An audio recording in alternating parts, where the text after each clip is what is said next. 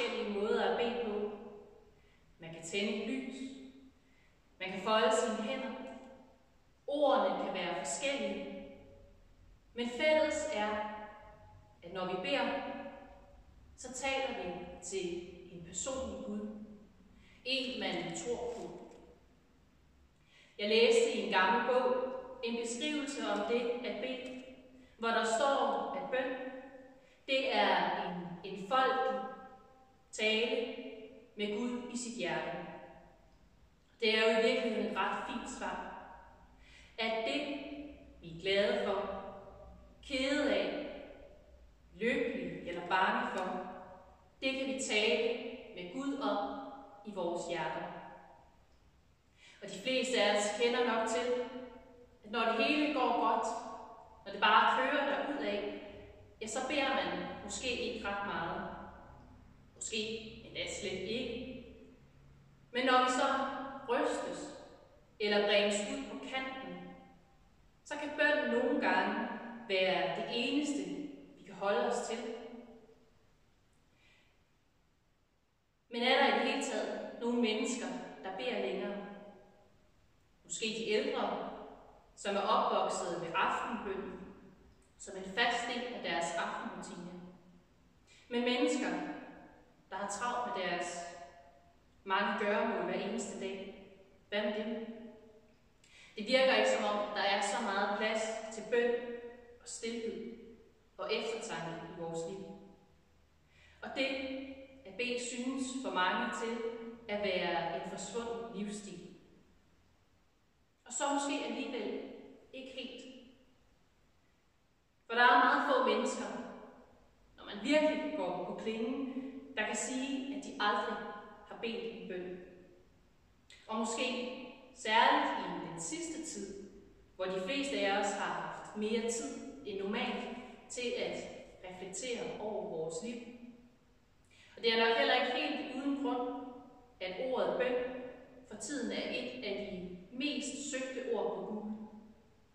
Og en forklaring på det kan være, at når vores berøringscirkler er blevet mindre, så er bønnen med til at bryde vores oplevelse af isolation, ensomhed og angst. Bønnen den er nemlig med til at fastholde os på, at verden den er gudskabt. Og bønnen er med til at fastholde os i håbet om, at alt ender godt.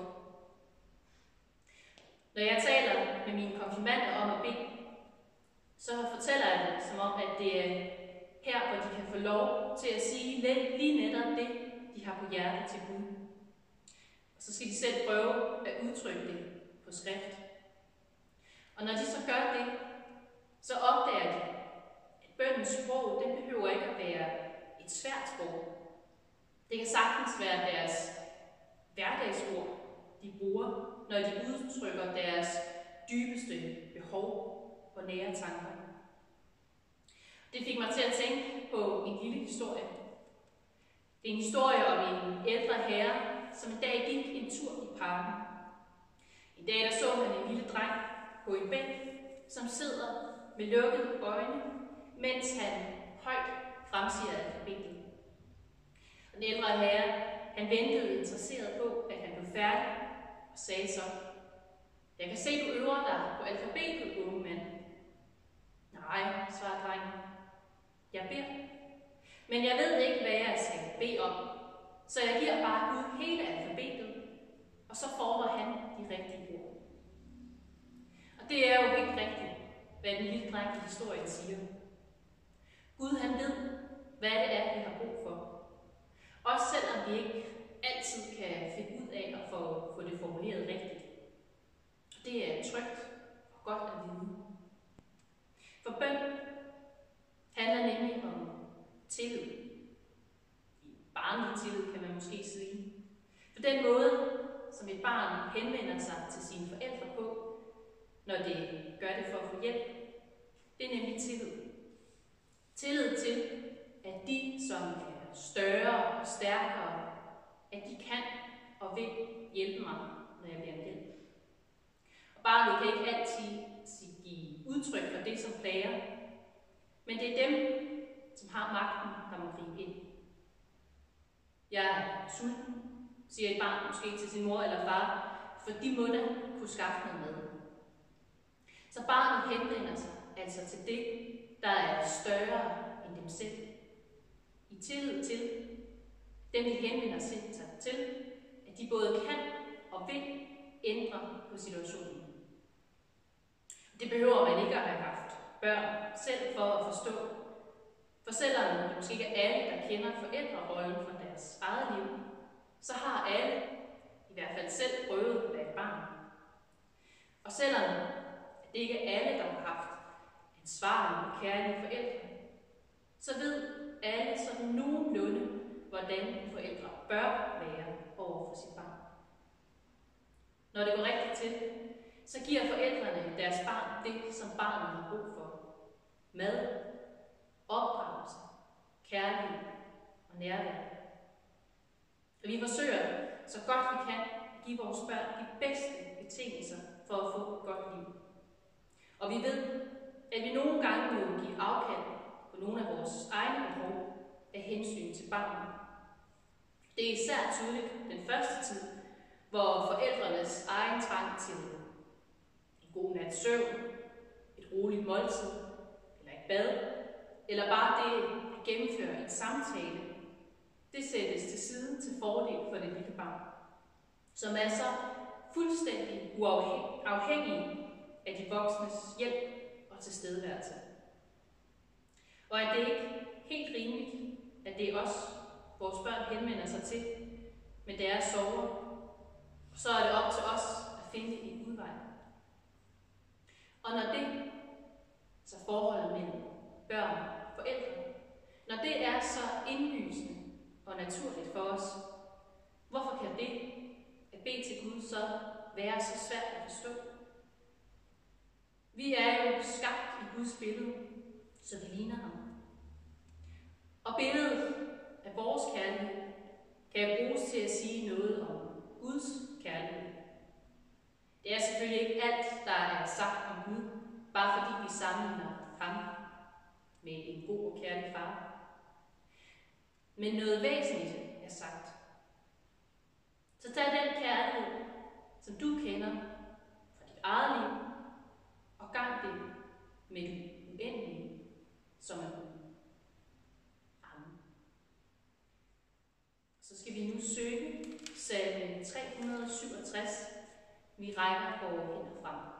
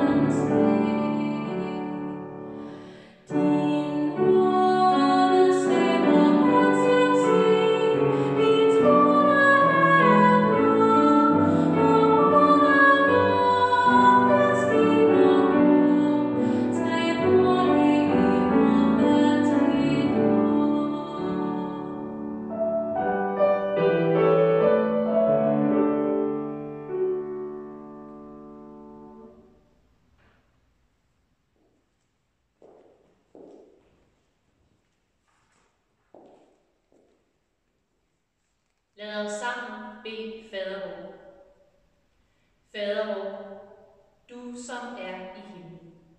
Helligt vort dit navn, komme dit rige. Ske din vilje, som i himlen, således også på jorden. Giv os i dag vores daglige brød, og forlad os vores skyld, som også vi forlader vores skyldnere. Og led os ikke i fristelse, men fri os fra det onde, til dit er riget og magten og æren i evighed. Amen. Og modtag Herrens velsignelse. Herren velsigne dig og bevare dig. Herren lader sit ansigt lyse over dig og være dig nådig. Herren løfter sit åsyn på dig